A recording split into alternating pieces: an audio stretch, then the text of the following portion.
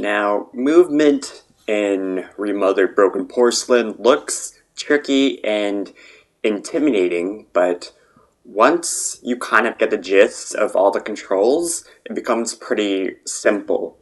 Now, all the bad guys in Remothered Broken Porcelain and in uh, Tormented Fathers um, are called stalkers, so I'm going to be referring to all the bad guys trying to kill you as stalkers.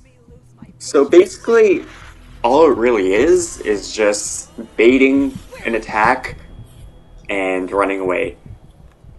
You kind of have to slow down when they're near you and then sprint away as fast as you can and then just go around them. A good example of this type of dodging is the sprint back dodge in Resident Evil 2.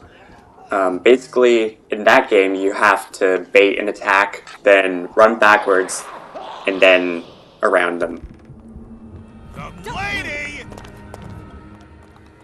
If you do manage to successfully dodge an attack, I'd recommend throwing something at them, kind of like in fighting games where you whiff punish. Hey, you! Go back to where you came from. There's a section in the game where all three stalkers are pursuing you, and uh, the only tip I have with that is to avoid corners at all costs. Now, to summarize, basically you just have to wait, bait, and run. Remember that. Wait, bait, and run.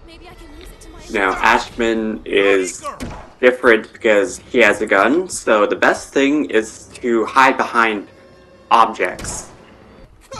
Now, we're coming to an end of this video. I hope it helps you out in your experience with Remothered, and I hope you understand the movements better.